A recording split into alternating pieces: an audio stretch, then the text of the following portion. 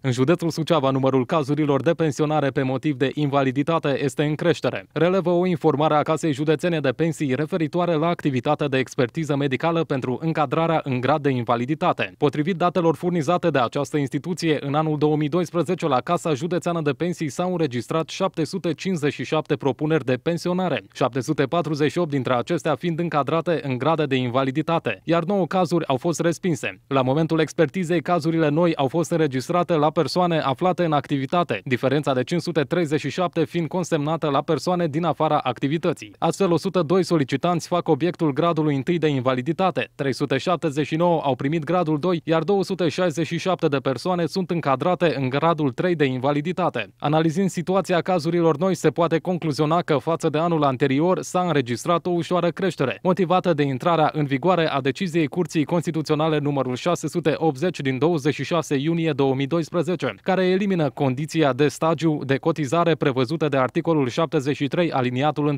din legea numărul 263 din 2010. Pe de altă parte, este de precizat faptul că în cadrul întregului serviciu de expertiză medicală al instituției recuperate au fost 1924 de cazuri. Este vorba despre 1364 de ameliorări și 560 de depensionări. De menționat este faptul că Comisia de Verificare și Control se întrunește în fiecare zi de vineri, structura fiind prezidată de către directorul executiv al Casei Județene de Pensii. Comisia reanalizează dosarele medicale ale pensionarilor, urmărindu-se în permanență dacă încadrările în grade de invaliditate se mai păstrează sau dacă pensionarii și-au redobândit capacitatea de muncă. Se precizează în materialul citat.